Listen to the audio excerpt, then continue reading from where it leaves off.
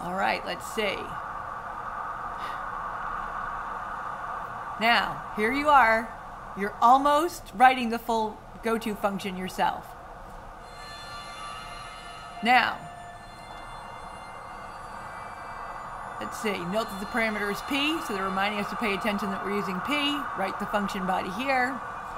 Okay.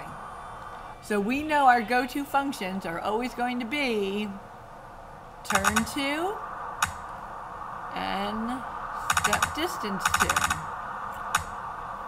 And then we see that code is okay, which this is the code we basically just wrote, however, or just finished on the previous one. However, they've put it inside of a for loop.